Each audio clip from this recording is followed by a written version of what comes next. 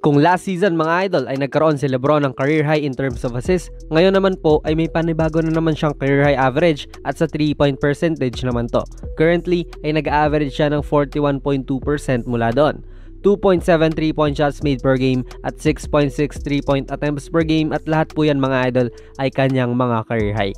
Basically, yung ganitong volume ay comparable na rin sa isang elite shooter ng Brooklyn Nets na si Joe Harris. Ngayong season, 6.6 attempts per game din siya sa tres at 0.5 lamang po ang kanyang lamang kay Lebron sa made shots with 3.2 per game. Ito ilalapag ko lang mga idol ah. Kung may pagpapatuloy ni Lebron yung mahusay niyang shooting mula sa area na yan, eh talagang bad news to sa kanilang mga makakalaban. Ang isa nating ihalimbawa mga idol ay yung patikim niya sa Cavs sa kanilang recent game. Panoorin niyo muna to.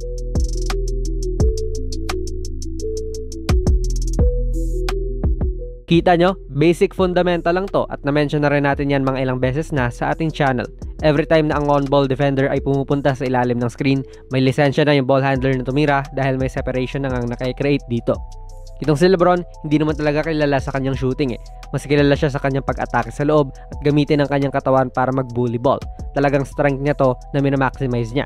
So yan siguro yung iniisip ni Osman sa mga oras na to. Since mahilig ang sumalaksak si Lebron, iilalim na lang siya sa screen para maabangan niya. Kaso wala, tinirahan siya bigla. Dito rin mga idol oh, sa pag-screen ni Davis, pupunta pa sana itong si Okoro sa ilalim. Kahit na may space pa siya dyan para labanan ng screen at dumikit pa rin kay Lebron.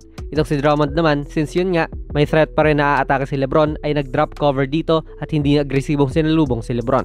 Parehas malayo ang defender, edi tumira na lang siya.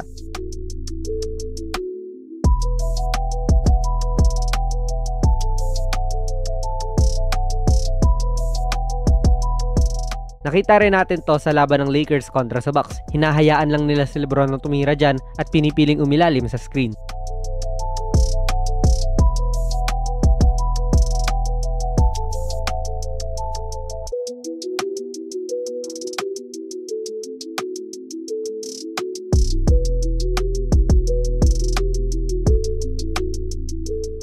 Ngayon at na-establish na natin yon, kaya naman natin sinabi na it's a trap sa title dahil kung sakali man na magpapatuloy yung ganito kagandang shooting ni Lebron, bubuka talaga ang depensa at mapipilitang umangat ng mga on-ball defenders sa screen. Saka naman pwedeng sumalaksak si Lebron. Katulad dito sa laban ng OKC mga idol na nung una ay umiilalim si Dort sa screen at parang nakikipagpatintero. Hindi kinuha ni Lebron yung tira at this time naman po pinili po ni Dort na pumunta sa ibabaw ng screen. Pagkakataon na tuloy ito na umatake si Lebron sa loob.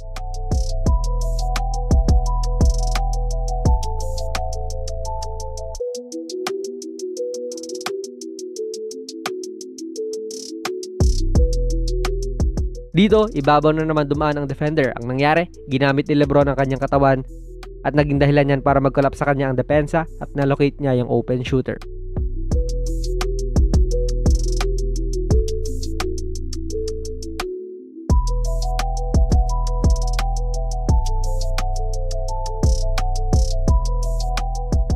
Umangat na naman ulit dito ang defender at ngayon kitang kita natin na one man to beat na lang para kay Lebron to.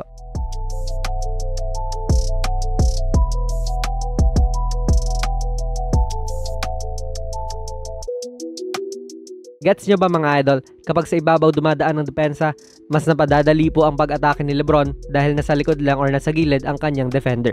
Kapag naman po sa ilalim dumadaan ang depensa sa screen, epektibong na ibabaw naman ni Lebron yung mga tres niya. So ikaw bilang depensa, paano mo kaya ito masosolusyonan?